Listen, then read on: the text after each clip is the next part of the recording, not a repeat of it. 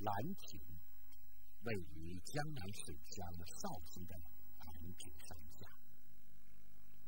越王勾践曾经在此种兰而得名。东晋永和九年，一群文人雅士在这里流觞宴饮，赋诗唱和，以此为乐。书法家王羲之在半酣之际，豪情满怀，挥毫提笔，为此次所得诗集作序一篇，记下了这次聚会的盛况和自己的观感。这就是被誉为天下第一行书的《兰亭序》。王羲之，字义善，公元三零三年出生在山东琅琊的一个名门望族中。幼年便移居东晋的政治中心建康，也就是今天的南京城，住在了繁华的乌衣巷内。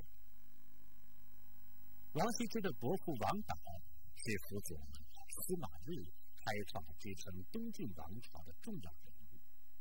王羲之在这样的家庭环境中，有着得天独厚的习书条件。他七岁拜女书法家魏夫人为师，三年光景，已练得笔力深沉，摇曳多姿。王羲之的大部分时间是在官场度过的。他开始做秘书郎，后来又做右军将军、会计内史。在任职期间，他开仓赈贷，受济了灾民，深得百姓爱戴。但他的志气是在书法，他博采众长，经人体恤，甚至走在路上还揣摩着名家书法的架势。手指不停地在身上画字形，时间一久，连自己的衣襟都画破了。羲之爱鹅，已成千古佳话。他喜欢从鹅的阳静蓄水间捕捉书法的艺术灵感，从鹅的动作形态中揣摩书法的笔画特点。这块鹅池碑，据传。是王羲之书写一半时，被其他书耽搁未能写完，后来由他的儿子王献之继承。王羲之的书法在不断的剖析前人、总结自我中，终于完成了从带有隶书意味的质朴书体，到词句瑰丽的王体真书与行书的，自成一家，奠定了。他在中国书场上至高无上的书圣地位。今天，在绍兴古城还保存着王羲之的许多遗迹：提善桥、朵婆路、借珠讲寺。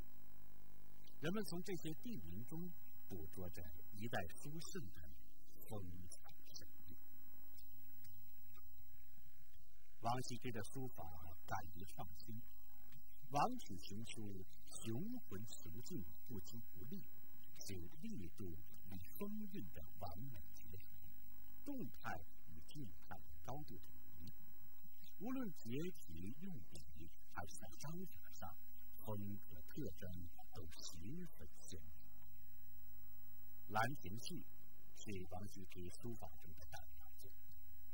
那次兰亭盛会上，王羲之曾酒兴，用曲须笔在长篇纸上题书，一气呵成，将多年的书法艺术功底淋漓尽致地发挥出来，妙自然，巧夺天工，成为中国书法艺术品中的珍宝。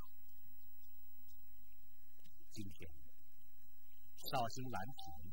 已成为世人向往的书法圣地，《兰亭序》也被东晋以来的各代书法家临摹和效仿。一些书法爱好者纷纷来到兰亭，寻找王羲之的笔法神韵。在蜿蜒的溪水和流觞之间，遥想王羲之和《兰亭序》的。有一句。